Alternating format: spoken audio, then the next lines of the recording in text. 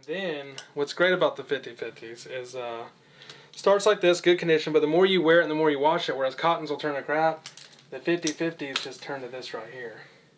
Which as you can see up next to the light, you can see through it. It's like pantyhose.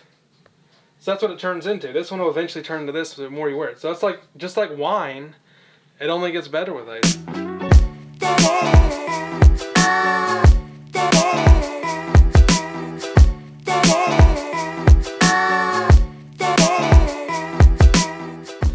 Alright, this is a uh, Michael Rios or Heaven Smiles. It's kind of like his company that he did with the buddy.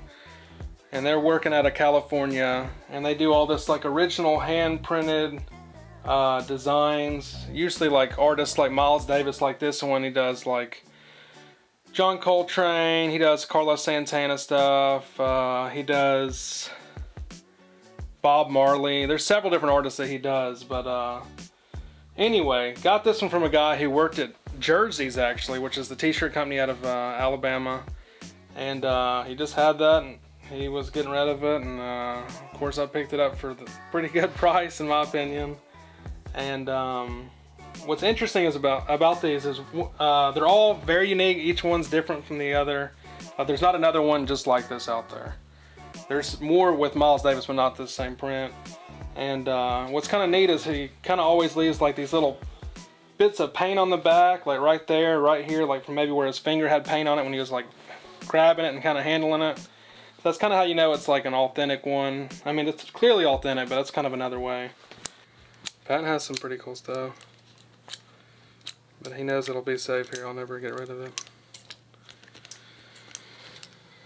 But yeah, I got a good bit of, uh, good bit of Batman actually. Yes, here's another like mint condition 50-50 right here. We're pretty good condition. I swear it feels like cotton, man. I'm telling you, feel that. Does that not kind of feel like cotton? That's just because it's all thick and hadn't been worn in. This is like art you would have on your wall, but you can wear it, which to me is cooler. Like to me, it's cooler to be able to go wear it around town and show people the art that you're into than just have it in your house where people would have to come to your house and uh, go look at it on your wall. So that's, I think, one of the big appeals to t-shirts in general. But uh, yeah, there's different artists out there like Mosquito Heads, was a company out of, uh, I think, uh, Venice Beach area near LA. And they would do a bunch of t-shirts with like the, you've seen those with like the bleach kind of, bleaching design. And like they have like uh, James Dean, all these different people as well, pop culture people. And they're like a, they're like a collab group of guys that were like all artists that were do, doing them in the early 90s down there. And he was, I guess, maybe more Northern California doing them up there. And he actually did stuff for Carlos Santana. And that might be how he kind of got to the more of the mainstream is doing like clothing for Carlos and like his even his instruments. He would like paint them up and do it real cool. And like during his tours and his concerts he would like wear his stuff and you know his instruments would all be decked out. So he was like really into him and uh, good friends with the guy. So that's kind of how he got like off the uh, ground but he is still alive and like I said he's still as of recently was making some more stuff um, which is kind of interesting I know he's battling cancer right now, and I'm not sure how that's kind of going with him, but uh, I know he is battling that. So I've been kind of trying to keep tabs on him and see what's going on. Like this guy right here might have some good ones on it. Yeah, right there's a real good one. See up top, both those.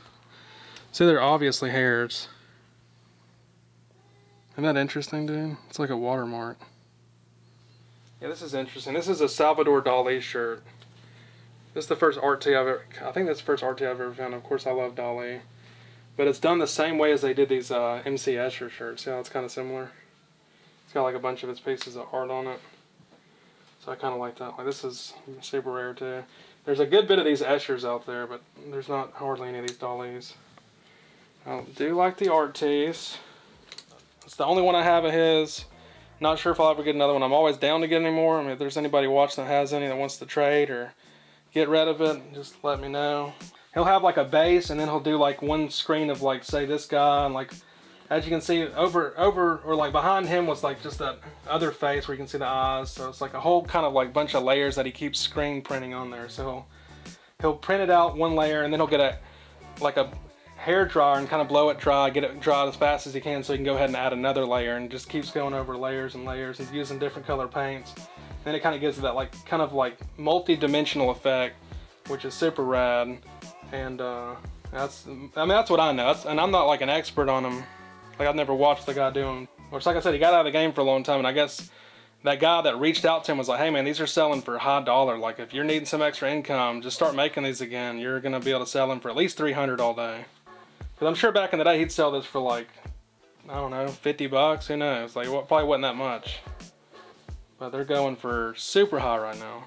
And it makes sense. I mean, that's art. That's, I mean, this is like having a Picasso on a shirt that's original.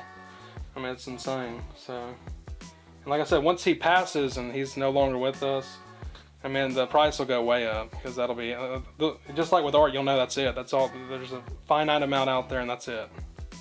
So right now, nobody knows that shirt exists. So some shirts you got to take off your Insta because people steal it. Like that one right there, I'd never post because people would steal that and start making loads of those in China and selling them to people. I'm kind of more careful now, like posting different stuff on my Instagram that's like rare, one of ones, um, because I was having pictures stolen where people, I guess from China, were screenshotting it and making that same exact print on like just some new Gildan shirts and selling them on eBay for like 20 bucks, 15, 20 bucks.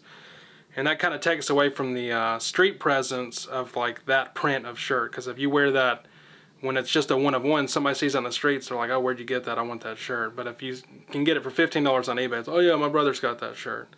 But I mean, it's not the original, so, it, you know, I had to stop posting rare stuff. Like, for instance, this shirt right here, this is the only Mike Tyson like this I've ever seen. I had this on my Instagram, and I took it down, thankfully, before they stole it and were printing them on eBay. So this one's still just a one of one, but that is uh, no longer on my Instagram. It's probably not for sale for who knows how long. And it's the same with like, uh, like this King Kong shirt there, I'll never post that one on my Instagram because someone's going to steal that. Unless I have like a watermark or something over the print where they can't steal it. Sometimes if I have a shirt that I never see out there, you kind of always want to be researching and see if anybody else has one out there. I feel like a lot of guys do that. And uh, see, I'd be looking up this Catherine Will shirt I had, and I was like, man, I can never find one. And then finally I found my picture on eBay. It was the same background, like I have the same rug on all my pictures, and it was that exact picture that I took, and they were selling for 15 or $20. It was coming out of China.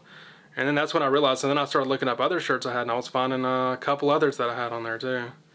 So was, that's when I realized I was getting ripped, and it's like, I mean, there's not anything you can do about it. Because in eBay's eyes, it's like, well, we're still making money. Even if they're selling this reprint, we're getting a percentage of that. So for them, it doesn't make sense to kind of stop that. Because that's still money to them, so they don't care. So, I mean, they'll never do anything about it. And I guess technically you don't own that picture. I don't know. I feel like if you put something on social media, I think you don't own it or something like that. I don't know have to look into all the like legalities of it, but I'm pretty sure that's a legal thing. So it's just something to be aware about. Make sure you don't make that mistake again.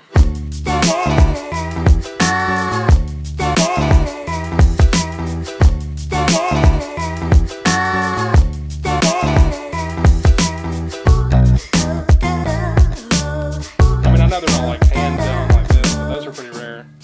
And since he's got so many, you think he'd do it. But I wouldn't do anymore. I'd keep that.